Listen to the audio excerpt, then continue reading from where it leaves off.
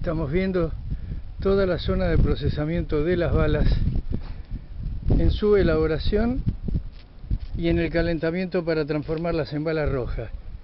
Por supuesto, ya dispuestas por detrás de la batería, de tal manera que ni bien se elaboraba y se calentaba, pasaba directamente a los cañones que estaban adelante.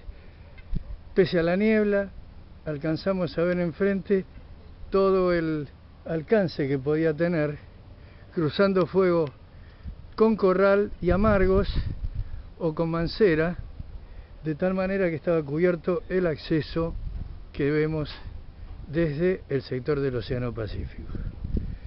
Hasta 1821, que es tomado por Cochrane, nadie intentó ingresar a Valdivia.